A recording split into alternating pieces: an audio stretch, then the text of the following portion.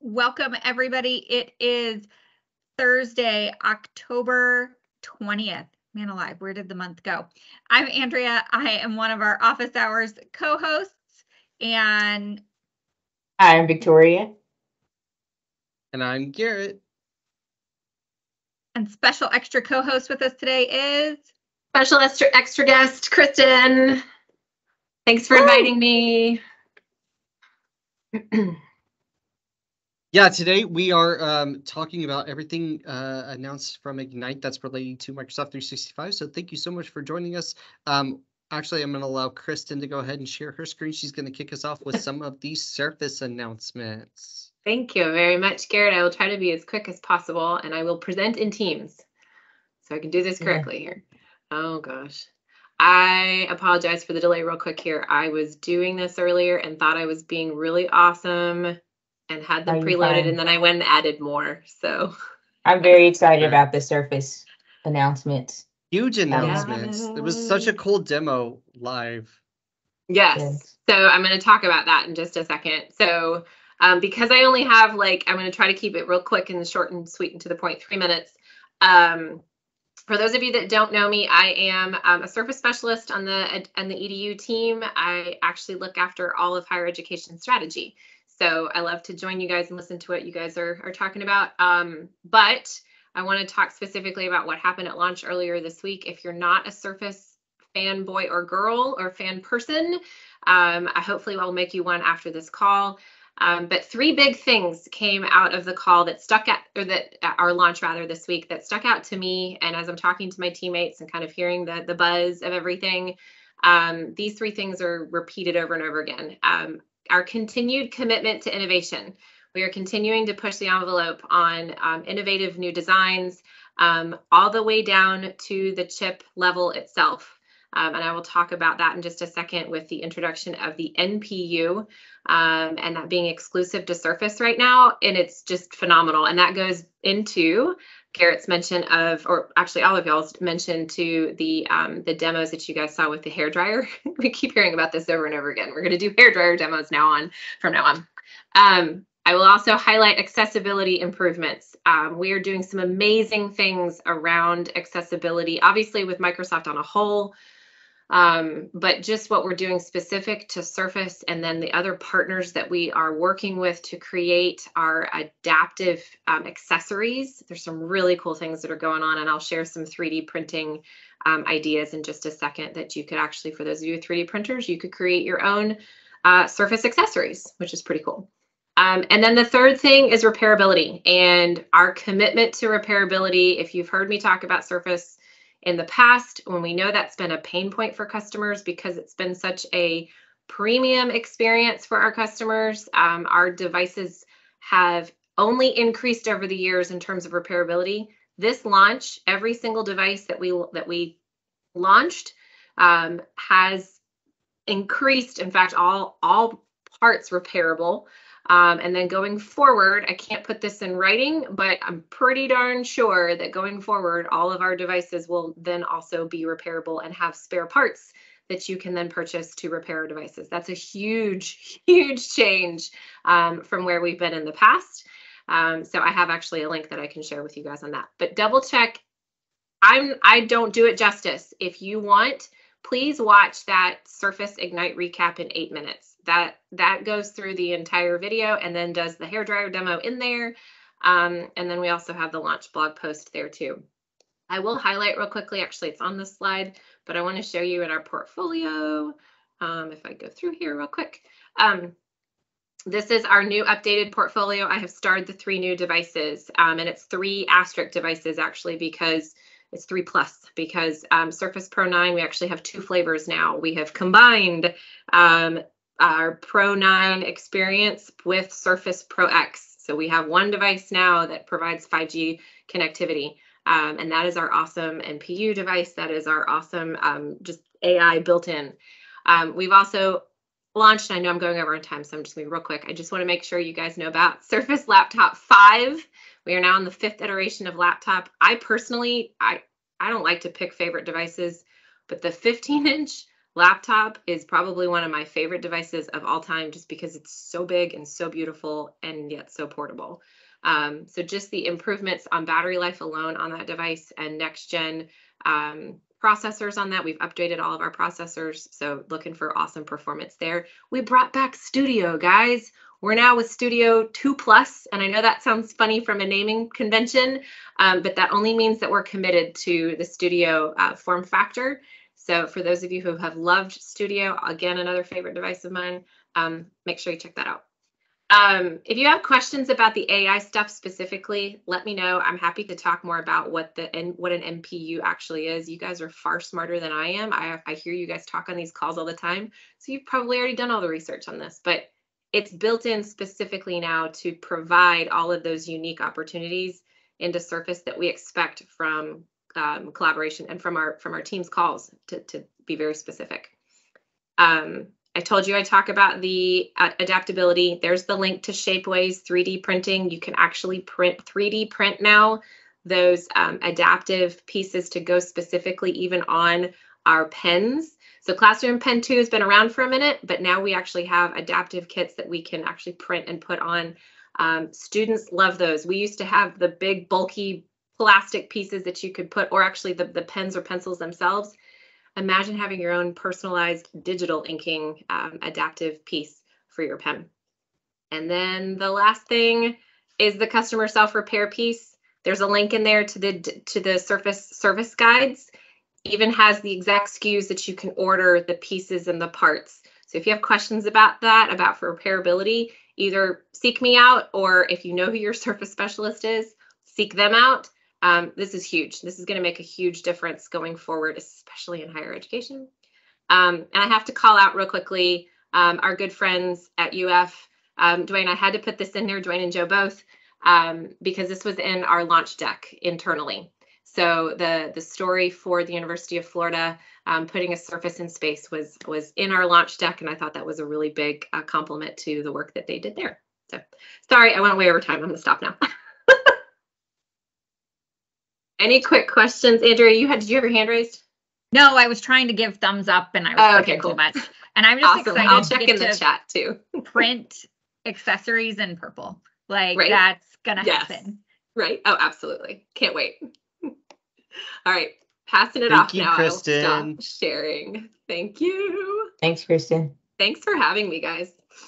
I'm going to go ahead and share my screen and we are going to continue on some of these announcements at Ignite. We've tried to summarize as best we can, really focusing on the Microsoft 365 portion, but there was just so much. Um, so we may end up making this two parts. Uh, we'll see how far we can get today. Um, the portions that I did want to mention um, was that we are covering these announcements. What we're not covering is timing for licensing. So we've had a lot of big announcements and there's still a lot of questions that we don't know. Um, so things like Teams Premium that we'll talk about, things like that. Um, those we don't have EDU pricing or anything like that. So we're not going to get into that. Um, but we're going to talk about what has um, what we've announced as far as features wise. So I'm going to turn it over to Andrea to start us off with Teams. Oh, fantastic. I'm like looking for the right slide. Here we go. Uh, super excited. I'm going to run through these really fast.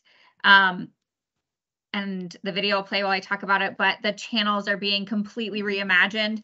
Um, I don't know how I excited I am about this yet, just because I've gotten so used to the fact that new posts are at the bottom, but they are moving to the top of the page. And now you can actually pin things to the top of the page, which is really exciting. You're going to be able to have uh, unique banners uh, for every channel. I'm excited about that because, you know, I love a good graphic. And uh, there's lots more coming directly to the channels themselves. Hey, Andrea, or really quick, are you, what slide do you see?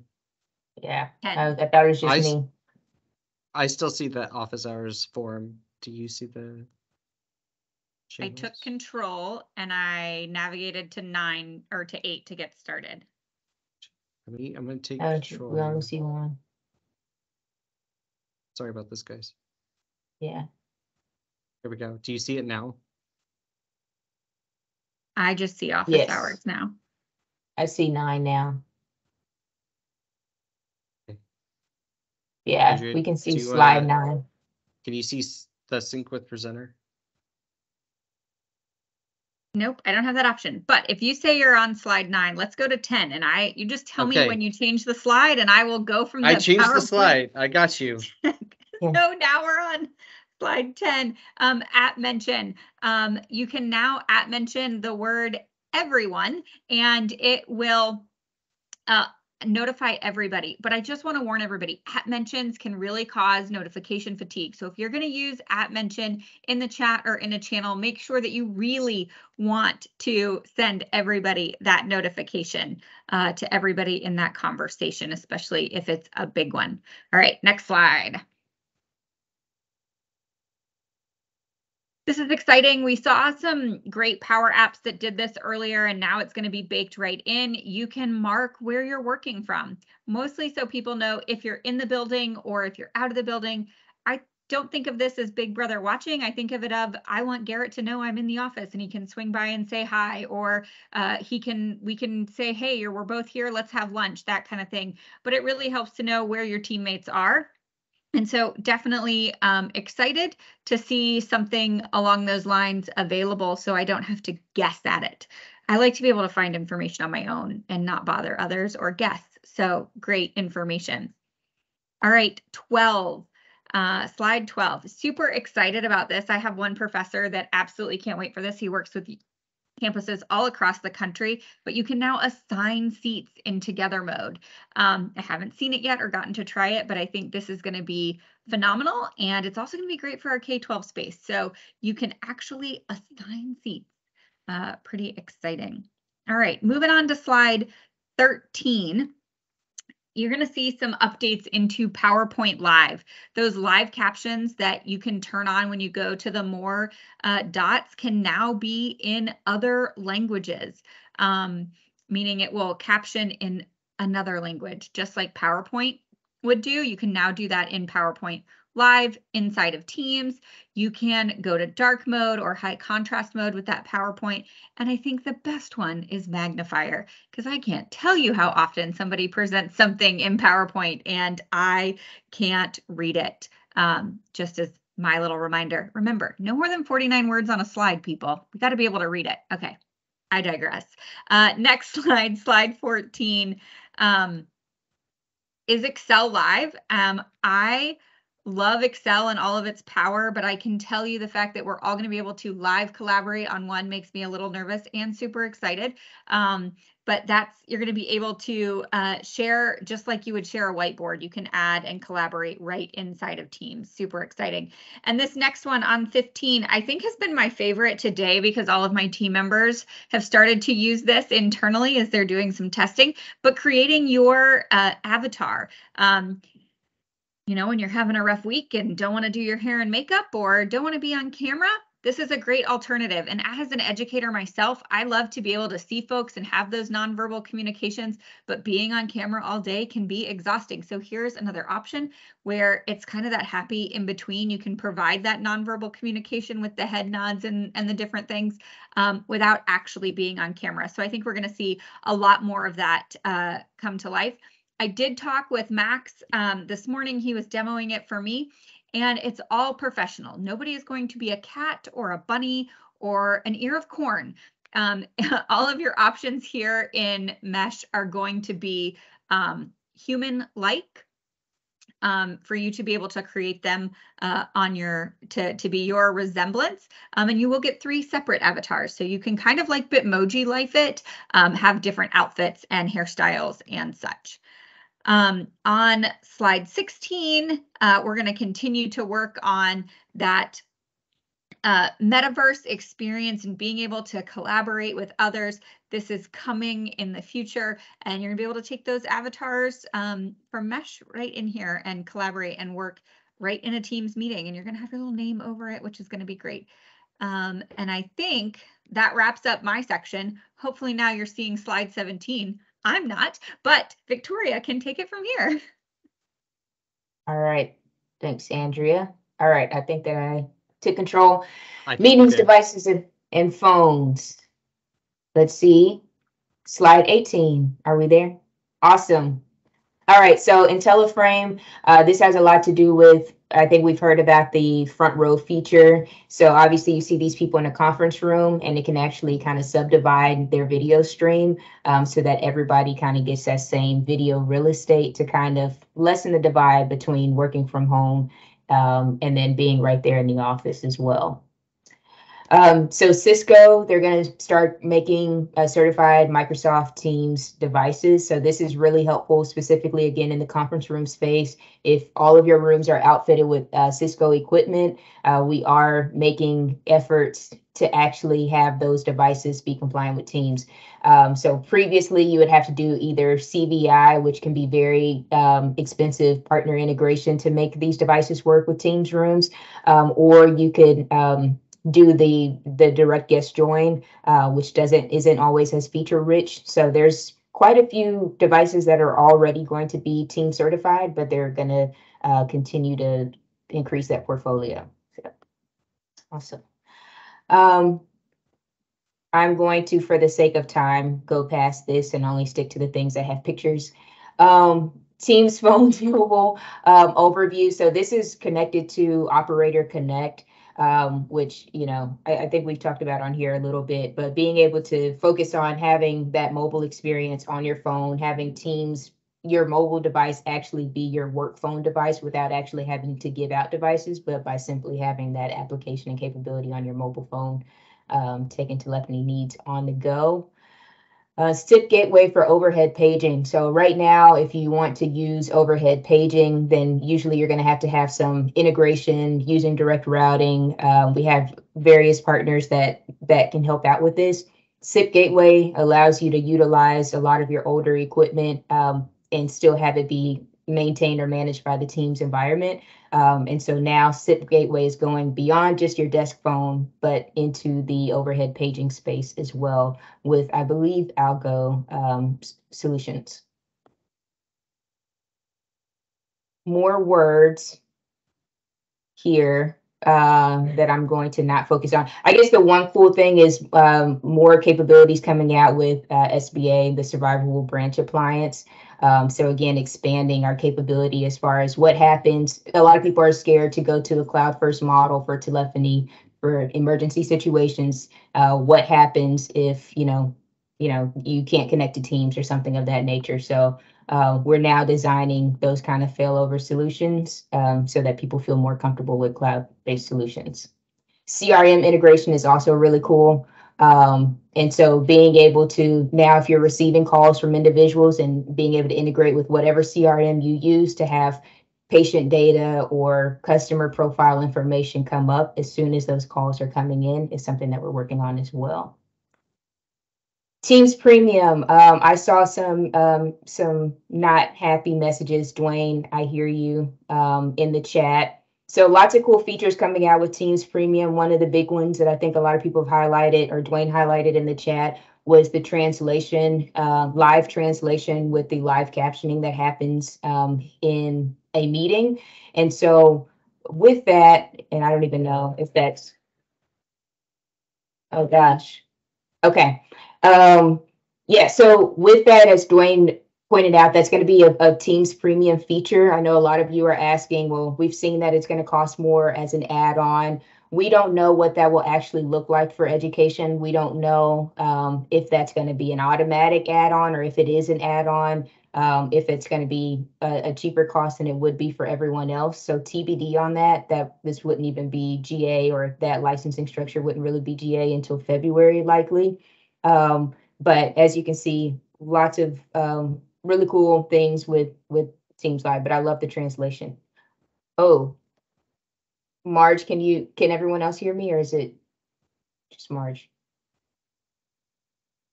You can hear me? Okay, cool. I can hear you.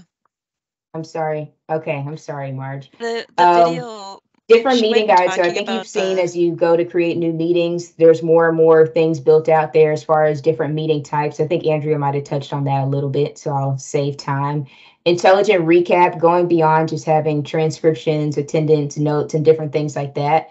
Um, being able to see, um, you know, exactly within a meeting where your different action items came for, from, what was the additional context around those action items, being able to, um, you know, accept or decline if someone assigned you an action item uh, from a meeting that you weren't able to attend. So again, it allows, you know, us to kind of keep up with things even if we aren't actually there that this is the feature I got ahead of myself here that Dwayne was talking about. So notice someone can be speaking in one language, but being able to read on their side of the screen um, in a different language. And we have this capability within PowerPoint today, but bringing that into Teams. Advanced virtual appointments. Um, I believe that this is likely connected to the changes that we're seeing with you know bookings and the sms messaging and yada yada yada but uh, we're making trying to make this a bit easier allow teams to be that place that you go to for booking your virtual appointments there will be sms integration with this as well um, and so The other things there. thing that, yeah, Um, the other thing I advanced wanted to webinar call out. capability is allowing for um, you to actually have overflow or waitlist capability as well. So if someone cancels something, being able to automatically um, jump in and have someone else there. Okay, I tried to go really fast. This is not very important. This or it is important. Scratch that from the record. Microsoft Places. Andrea already kind of touched on this earlier. Um, this has to do with you know booking meetings in person, remote. How do we create better spaces to have that seamless connection to all of those things? Um, so I won't touch on that. As you can see, I'm really trying to speed through this and, and get to some of Garrett's parts. So I think that Garrett, I'm going to turn it over to you, and this might be a good break for a It part might be. Can you, can you hear me? Oh, we can't hear you, or I can't hear you, Garrett. I Oh, can that's hear because you. I'm Garrett. Sorry. You can't hear I me? can hear you. Yeah, I can hear you. Okay, okay, okay. Um, yeah, we may go ahead and break right here. The one thing that I wanted to call out, Victoria, if you could go back to the virtual appointments just to kind of finish up, um, is the uh, what I I was looking for this from my customers when we implemented um, virtual appointments through Teams was the ability to have a custom waiting room. Um, so in telehealth scenarios, a waiting room presence uh, was super important. So we're actually bringing a custom waiting room into the virtual appointment space, which I think is um, super, super exciting. Um, I know it's behind the premium SKU, but um, I think it's going to be phenomenal for for telehealth um, and using And- both Teams and bookings. And Dwayne, since I see your question, I will pause on this then. Yes, places will have to do with room reservations as well. Um, there's going to be integrations with Microsoft Teams rooms as well. So uh, if you're coming to into a room, being able to tell, okay, this person booked a room. Now, did they actually show up for their appointment um, or not? Are they actually using that or not? Um, yes, more more advanced room reservation capability in there as well. And I'm happy to play this little snippet if we want, um, since we're going to cut it off, unless there's any other questions. Just lower the Is there- volume maybe a little. Yeah, okay. Let's see here.